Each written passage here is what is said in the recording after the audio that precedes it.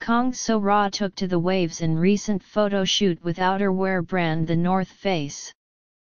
Kang So Ra showed off her curvaceous body against the backdrop of a refreshing summer sea, giving off the vibes of a relaxing summer vacation.